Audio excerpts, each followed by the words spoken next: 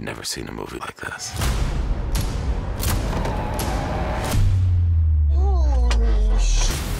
We're revving to give you everything we got. We got something special, so let's celebrate that. It's the end of the road, so we're going back to the roots of Fast and Furious. Let's dig some graves. Then I go, what kind of trouble can we get into this time? Everything is bigger, better, and hits you like a right hand to the jaw. It is true entertainment on a massive canvas. You're about to learn all about fear. With a new villain, with new stakes, real stakes. Oh. I hadn't played a villain in probably 10 years. All right, dorks, what are we blowing up? I wanted to bring something to the lineage that hadn't been done yet. He just comes in, guns blazing. You guys are going to hell. Dante is really one angry guy, but really well dressed. To face off against Dom and his family, you had to be a certain psychotic. He's coming for you with everything.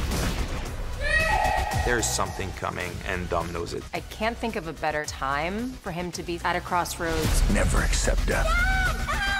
When suffering is owed. We're all feeling unsure at the moment, even Dom. It's a setup. We haven't been as successful as we're used to seeing this team be, and that's kind of scary.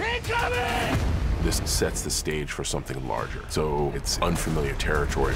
That's the problem with having such a big family. How do you choose the ones you save?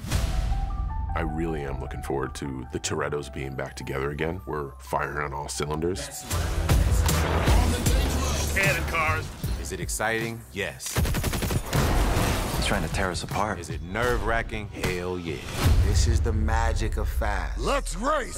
It's showtime. Here we go! It's the beginning of the end. it! It's the sum of everything we've loved in the Fast and Furious universe. Here they come. It's exciting to be a piece in the puzzle of something that's so very important to pop culture. I do suggest for the audience out there to prep. It's a big one. For a saga to be complete, it must have an ending. It's bittersweet, but dare I say more meaningful.